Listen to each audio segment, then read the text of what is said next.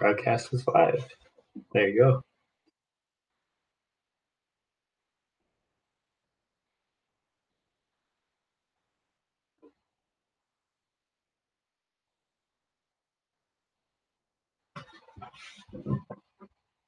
I'm not sure if anyone's joined yet, but if you have, we're going to start officially at about 7.05. So feel free to uh, drop any questions or comments or, or information that you'd like.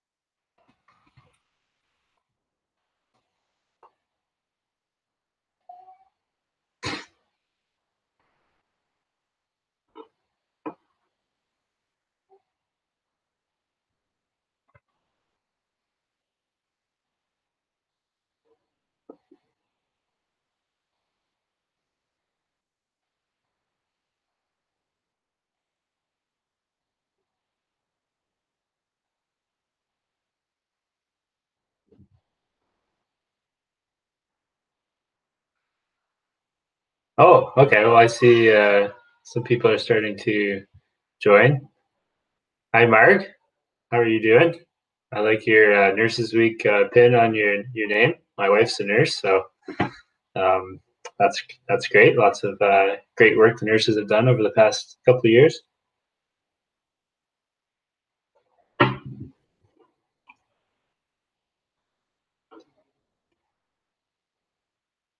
So if you're just joining now, we're going to start in uh, a couple minutes. Uh, we'll start at about 7.05. Uh, but feel free to drop uh, chat items in as you're coming on.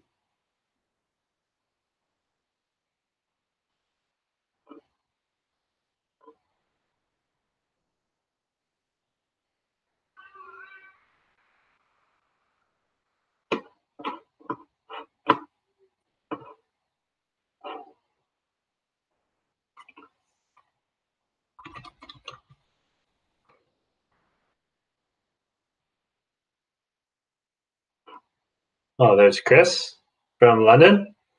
Welcome. I see your photo you have from Nunavut. That's that's pretty interesting. Seems like you've you've traveled our country fairly well. Welcome, Chris.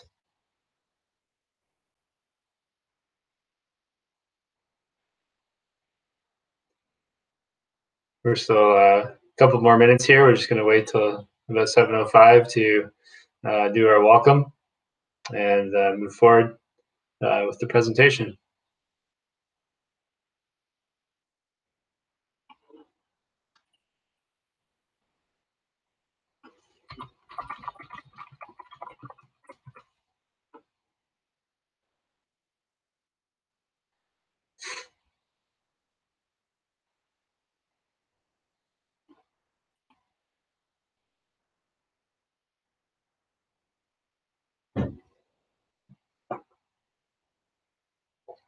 So throughout the presentation, feel free to drop any comments or questions you have in the in the chat, and we're happy to to review them and uh, take them up uh, when uh, when Steve's done his uh, discussion. So uh, as ideas or concepts are popping into your head, don't feel don't hesitate to to uh, to ask.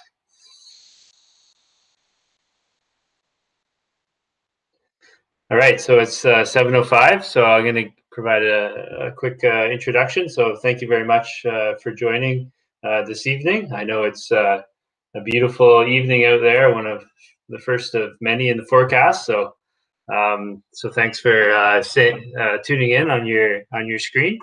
Um, so my, my name is Patrick Darby. I am the co-chair of uh, Smart Energy Oxford uh, here in Oxford County. Uh, we have a goal of 100% renewable energy uh, within Oxford County that we committed to uh, about five or six years ago. 100% renewable energy is a very ambitious goal. we were the only second we were the second municipality in Canada to make such an ambitious goal at the time. Uh, so we were definitely uh, we've been recognized as leaders um, within uh, the municipalities across Canada. Uh, ultimately, what it means to to be 100% renewable energy is we need to offset every unit of energy that we consume within uh, within the county of Oxford. So certainly, a very significant uh, effort needs to be uh, taken by by the entire community to achieve that. Uh, kind of our overarching um, methods to achieve that are, are focus on conservation first as our, our number one priority. Uh, so that's taking the the load, the energy loads we have within our county and reducing those as much as possible through uh, conservation programs. Um, so an example of that would be upgrading your building envelope or uh, adding smarter controls on your systems you ever you already have operating. The second priority is to consider more energy efficient and low carbon uh, systems.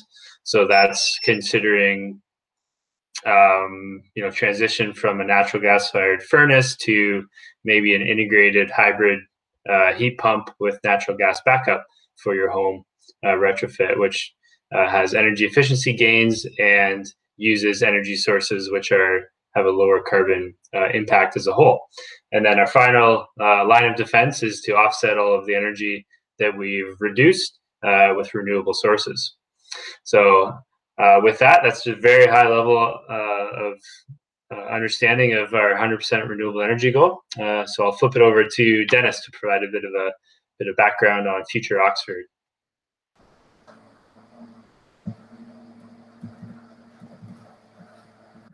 Thanks, for those of you joining us tonight, thanks for tuning in. Future Oxford is excited to be co-hosting tonight's speaker series with the Oxford County Libraries and the Smart Energy Oxford team. For those of you who may be tuning in from the recording of tonight's broadcast in the future, because we will post this after tonight, we're glad you have a chance to check it out as well. You're exactly why we posted it on the website. My name is Dennis Guy, and I'm here tonight on behalf of the Future Oxford Partnership, which is a group of passionate champions that believes not only in the vision of an Oxford where economies, communities, and environments thrive together, but also in the Oxford of today, which in many cases already has communities, economies, and environments that are thriving together. I recently heard someone say when you're referring to community sustainability that it's who we are, and it really resonates with me.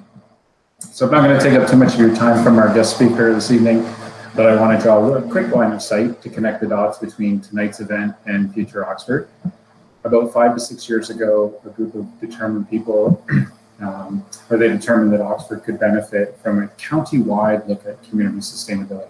So a bunch of individuals, organizations, businesses, and governments came together to determine what is most important to maintaining a high quality of life and to create an inspiring vision for anyone and everyone to aim for.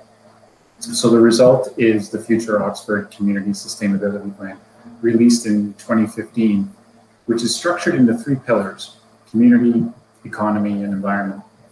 The plan documents 70 key actions to build upon the sustainable practices we already have, of which, since we started, 94% have seen progress made by a broad range of community stakeholders. And the actions continue to see progress today. So throughout the, five, uh, the past five years, Future Oxford has coordinated and or participated in a number of initiatives including what was once an in-person version of the speaker series, hosted at various libraries throughout the county, showcasing things like local entrepreneurs with sustainable business practice, uh, inviting residents to learn about energy efficient buildings, and we even hosted a workshop on electric and hybrid vehicles. Last fall, we brought the speaker series back to life in a virtual format, and we showcased some well-regarded waste innovators in Oxford, uh, such as Danielle from Welcome Body Care, Tom Butler, who's a local high school teacher and farmer, and tonight we continue our journey, uh, making a stop to focus on hydrogen energy. So with that, I'll turn it back to Patrick and we can get into tonight's conversation.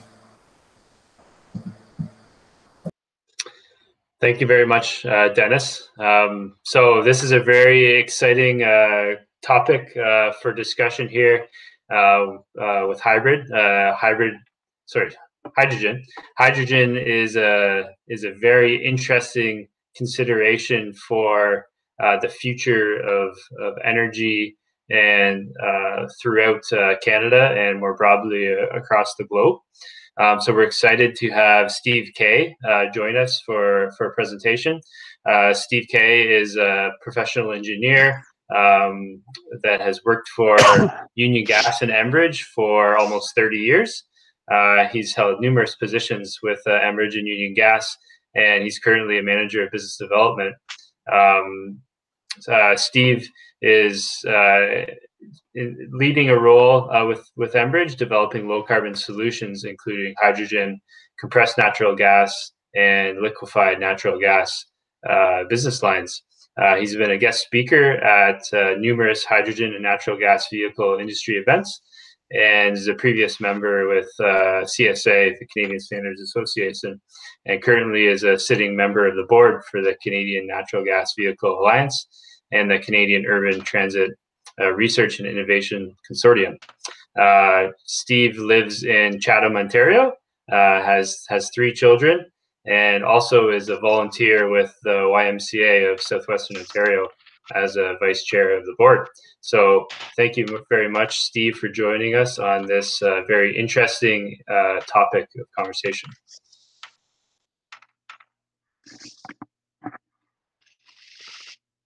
Oh, thanks for the introduction. It's uh, it's great to be here. Um, coming to you from just just south of Chatham, Ontario, on the shores of Lake Erie, and it's uh, it's a beautiful night here at my cottage, and I'm excited to be able to talk to you here tonight about what's a very exciting topic. Um, hydrogen has got a lot of attention lately, um, but it's going to be a little bit tough to do justice to this, and I think I have just about 10 minutes, so I'm going to stay fairly high level here, um, but we'll be happy to take any detailed questions you have at the Q&A we've got planned for the uh, for the end of the discussion. Um, if you could move to the next slide for me, please, that'd be great.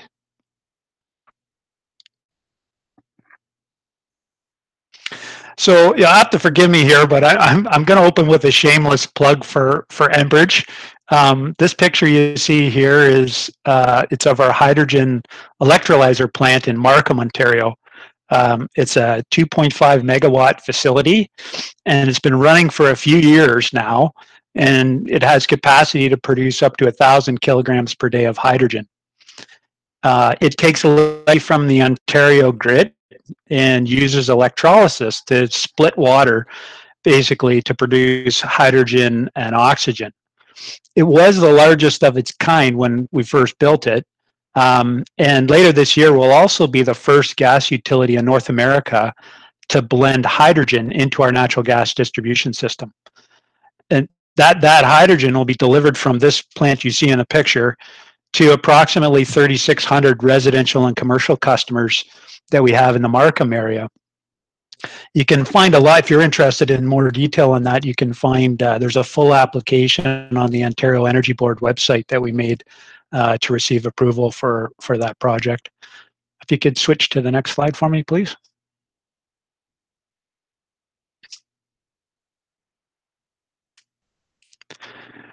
So i thought i'd briefly take everyone back to high school chemistry basically. Um, there's some unique things about hydrogen. It's it's the first element on the periodic table because it's the simplest and lightest element on Earth, approximately 14 times lighter than air. It's also the most abundant element in the universe and accounts for about 75% of all mass in the universe. In its natural and gaseous state, it's in it's invisible, it's odorless, tasteless, and non-toxic, toxic, making it very difficult to detect. And like electricity, it's an energy carrier and transports usable energy created elsewhere to another location. It has the highest energy per mass of any fuel. And by way of example, a, a kilogram of hydrogen is the same energy as, a, as about 2.8 kilograms of gasoline. However, the, the flip side to that is hydrogen has a really low volumetric energy density, which which when you try to distribute and store it, it makes it quite a challenge. Now it's also its ability to produce electricity with just water as a byproduct makes it a very desirable alternative fuel. Um, hydrogen is also clean burning when it's combusted with water as a byproduct.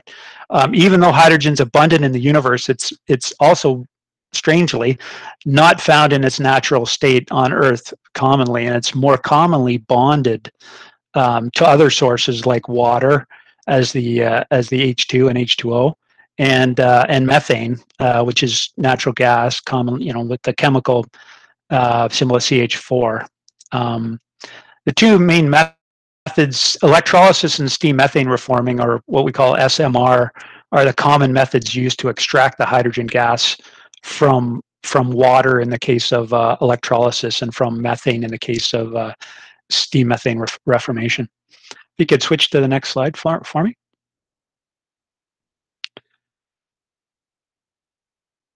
So hydrogen is very versatile, as I mentioned, and it's quite a unique energy carrier. It it, it really can enable economic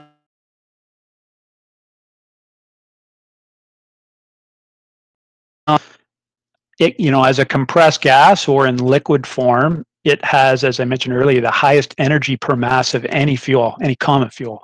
And that really allows it to transfer large amounts of energy from the point where it's produced um, to various end use applications.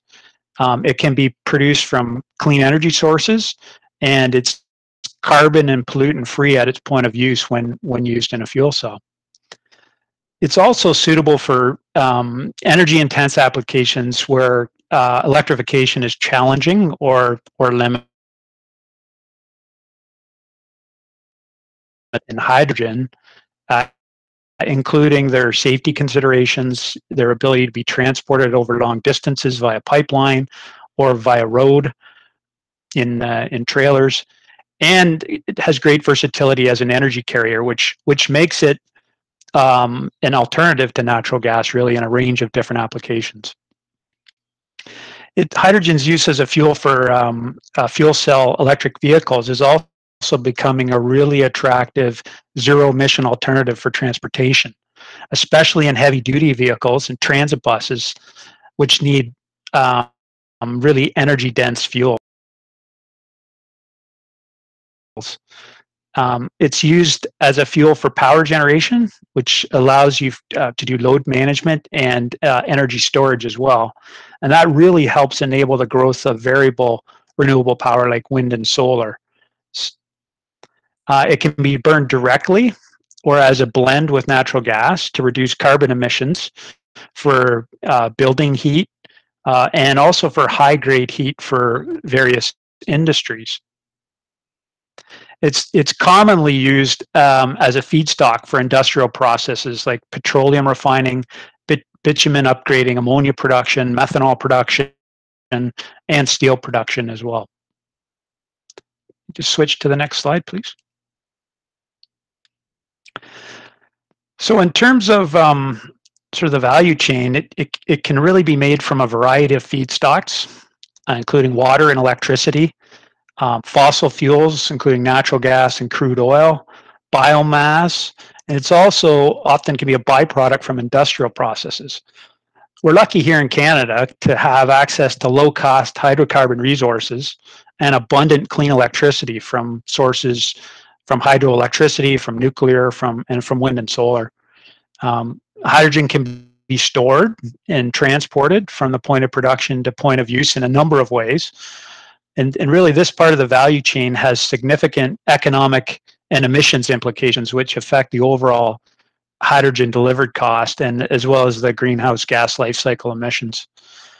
Its low volume energy, energy volumetric energy density that I mentioned uh, earlier makes it storing it a challenge, both as a bulk commodity at the point of production and in end uses like fuel storage on board vehicles. It also makes transportation over the road in bulk via trailers quite expensive. Transporting hydrogen in underground pipelines is more cost effective, although it's significantly more costly than transporting natural gas due to, um, again, back to that volumetric energy density consideration. In terms of end use, the adoption of hydrogen will, will probably be focused on energy intensive applications where it offers advantages over other low carbon options.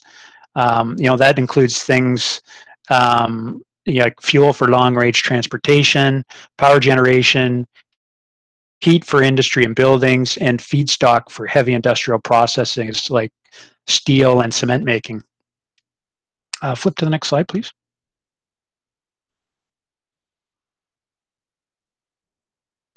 So the, the various ways hydrogen is produced from input feedstocks to output bulk gases, they're kind of known as the production pathways.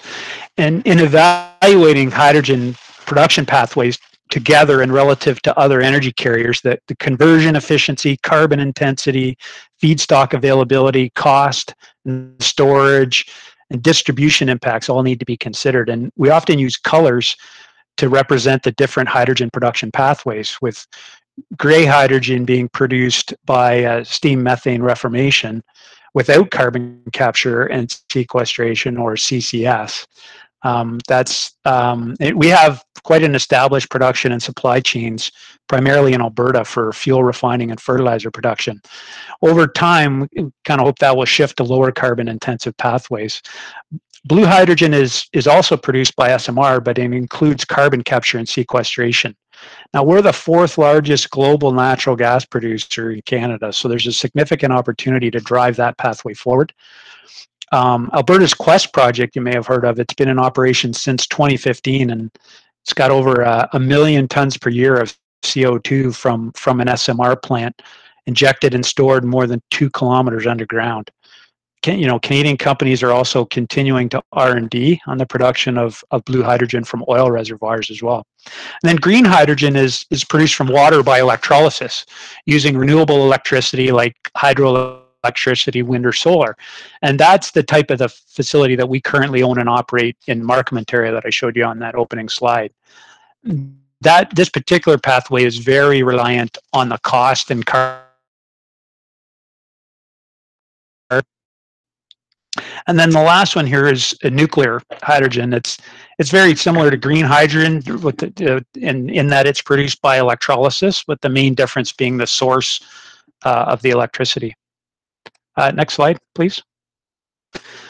So yeah, the the future is uh, is really bright for hydrogen, especially here in Canada. Um, we uh, you know our our electricity grid is relatively clean and we have abundant natural gas supplies you know with world leading hydrogen industry expertise uh, in the country as well with the likes of ballard and hydrogenics and others. Um, the, both the federal and provincial government here in ontario are have recognized the need for a cohesive strategy to help overcome the challenges um, driving down costs will be the key for it to gain broader traction in the market, though. And you know, a few of the key elements to achieving those cost reductions are things like you know building large-scale facilities uh, that are located near the demand hubs, and that's really two things. You achieve you, get better economies of scale with bigger facilities, and it minimizes transportation uh, costs between the uh, the supply and the uh, and the demand. Another is access to low cost and clean electricity. And that just electricity ends up being the most significant input cost to producing hydrogen by electrolysis. So it's really critical that you have cheap electricity, which is common in some provinces and less common in, in other provinces. And then another big thing is high load factor operations. So you want this, if you're going to expend a bunch of capital to build these facilities. You want them to be running 24 7 basically to make best use of the capital investments. And you want supply equal demand as well. And then the other, the fourth thing would be technology and efficiency improvements that are bound to come over time. Um, next slide, please. So on the distribution side, we, we have again we have some significant advantages in the storage and distribution of hydrogen. We you know we already have some dedicated hydrogen pipelines in a few regions, and we have extensive an extensive natural gas pipeline network, and we can leverage that to both store and transport hydrogen through that system. We also have excellent geological reserves that, that can be used to store hydrogen. um, under the ground, and our two coasts uh, on the east and west position us well for uh, international export of, of produced hydrogen. And and the most significant issue, though, is is really the current high cost of transportation, whether that be by pipeline, rail, ship, or over the road in in high pressure tube trailers. You know the and it's back to this low volumetric energy density. It, it, just it really makes it much higher in cost to transport and store relative to other fuels. And that can really increase the delivered cost to end users so the other considerations that there's some unique qualities of hydrogen and, and that means it requires careful evaluation of the blending levels into existing natural gas pipelines you know typically we look to limit that to under 20% uh, by volume, and that really limits the amount of hydrogen you can inject into the systems, especially in the summer months when the traditional gas markets are not as high and demand is low. But overall, the key to success in all of this will be, you know, broad collaboration and cooperation across government, industry, and end users to, to really get large-scale projects built and operating so that we can demonstrate, you know, the multiple production paths, the distribution, storage, and the various end-use markets. And really around the world, the rest of the world's moving very moving forward very aggressively if you've been following the news with massive hydrogen investments. And it's it's really important that we we not left be left behind. So you know we need we we really need to get moving on this. So with that i think i've probably used up my 10 minutes i'm guessing. I'll uh, maybe the next slide is q&a if we want to switch over to that.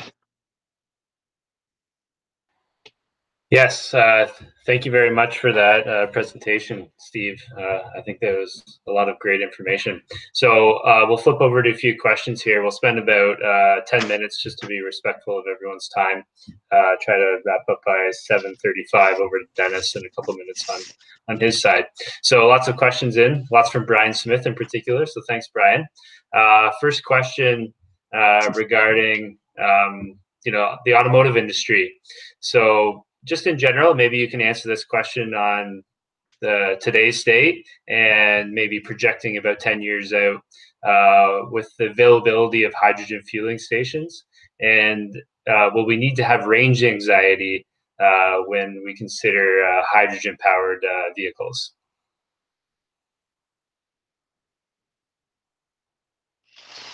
Uh, great, great question. Yeah, in terms of, in ter- I think there's a couple parts of that. One was the fueling station status, and um, and then range. I think if I picked that up correctly, um, fueling stations extremely limited. Unfortunately, there's um, there's a few in uh, BC.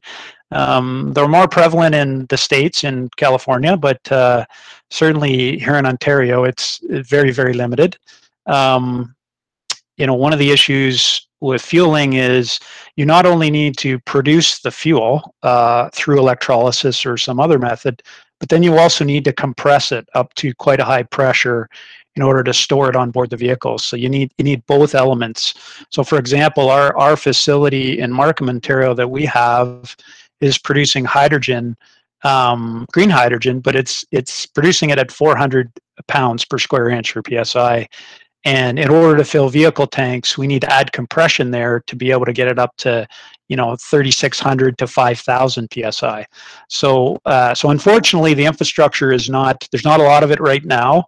Um, I think the um, that will grow in time. We have plans to um, to develop uh, a station at our facility in Markham, and I know there are other companies that are looking to to build as well. On the transportation market, probably the leading market right now is the transit market.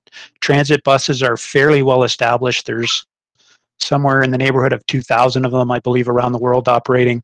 Um, and so, uh, you know, those those facilities, I think we'll see those moving much faster than than the other transportation markets. In terms of range, uh, um, yeah, one of the things that hydrogen does provide relative to battery electric is a significant bump in range.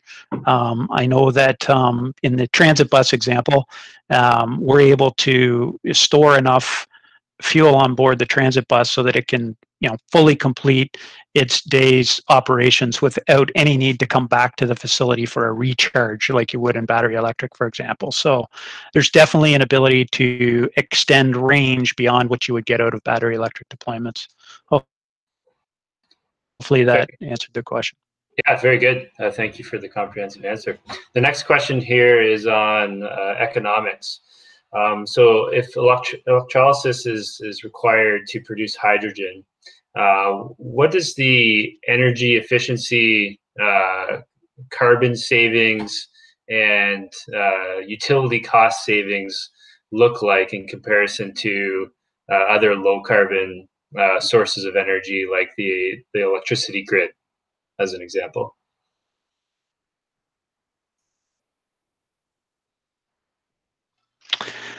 Yeah, um, great question. Um, so the the basis for um, the question, I believe, is an electrolysis solution. So if we think of that, then ideally what we're looking for there is a very clean grid as the supply input to the um, to the process. And uh, you know, Ontario's is I think we're 95, 96 percent um, non-carbon based, and Quebec it's quite strong as well. You'd, so you want to start with that um, from an input cost perspective. That's your and carbon perspective. That's your real key source there. Um, just in terms of pricing, um, it's it's it's fairly expensive.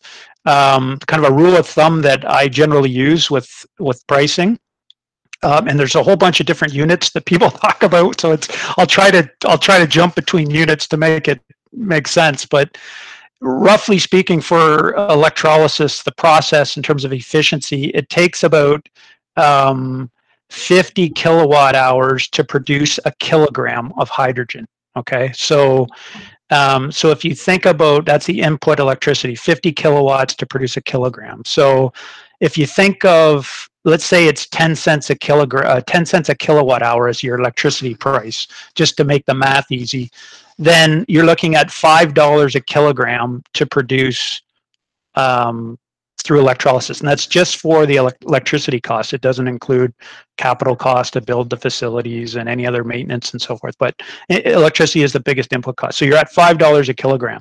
Just to put a kilogram of hydrogen is roughly equal to a gallon of gasoline in terms of its energy sort of capability. So you know, five dollars for a kilogram works out to about a dollar thirty-two uh, a liter for gasoline on an equivalent basis. So that sort of gives you a bit of a feel. And that, just for reference sake, um, in a home heating type application, you know, the gas that you're, the natural gas you're using at your house to heat your house, on an equivalency basis to gasoline, you're you're talking somewhere around, you know, 25 cents a, a gasoline liter equivalent for the cost of natural gas. So the, the key message here is that you want hydrogen to be displacing the more expensive fuels, ideally, um, and those tend to be in the transportation sector where you're, you know, you're dealing with diesel and, and gasoline and other liquid fuels. Ho- hopefully, that helped with the question.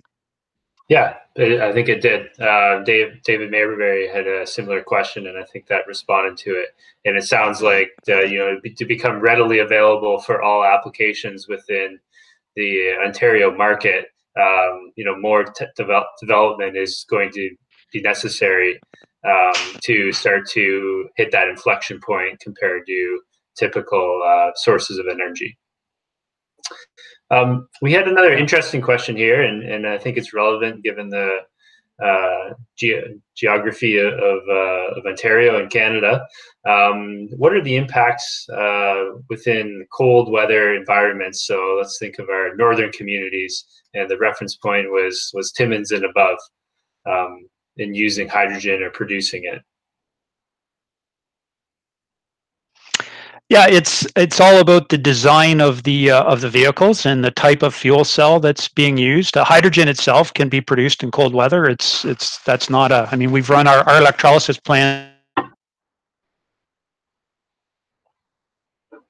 Had minus 25 you know weather so the production of hydrogen itself is okay um, if the question is more around vehicle use and fuel cells and their ability to handle cold weather, that's I'm not a fuel cell expert myself, but I understand that you know the buses that are being um, for example, the city of Winnipeg has explored uh, and is exploring a fuel cell buses for their fleet. And I mean, it's obviously quite cold up there. And I know there are other cities, Mississauga, for example, looking at fuel cell buses um, here as well in Ontario. And so um, it's all about the design of the bus and the and the fuel cell being used and so forth to ensure it can operate in cold weather. But that is that can be done. Very good. Uh, so we'll do one more question here, uh, and then and then wrap up. So so our last question will we'll put uh, put over to Steve here is regarding uh, materials. So in particular, uh, cement and, and, concrete. So do you ha- do you have any uh, understanding of the current percentage of uh, production of cement, which is sourced through hydrogen, and any ideas on the pace of conversion from from coal to hydrogen in in these industries? Yeah, unfortunately, don't have a lot of deep experience with those industries. I, I wish I did. I, I definitely we are definitely exploring discussions with the, and interested in speaking with those interest eh, with those industries to try to find you know good end use markets to to to um, develop. I think I mentioned in one of my earlier slides that you know a collaboration between industry end users and government moving. And so unfortunately i don't have i apologize that i don't have a great deal of experience with that i could probably follow up and get an answer for that but i'm not currently hydrogen use from green source it's like canadian tire for example uses at one of their warehouses they have fuel cell forklifts and they're generating um, hydrogen from the Ontario grid and using it to fuel their forklifts. But it's it's very the green hydrogen applications are very limited right now. Very good, thank you, Steve. Well, I think it's a relevant uh, discussion. Uh, in particular, when we're talking about the embodied carbon associated with the products we use throughout uh, the various industries uh, in Ontario and Canada. So with that, uh, I want to thank Steve for his uh, his presentation and Q and A. I think it was very informative and a very relevant topic to how we're transitioning both locally here in Oxford County, throughout Ontario, and across Canada uh, from a carbon reduction standpoint. So thank you very much, Steve, for for your presentation and Q and A. I'll flip it over to Dennis.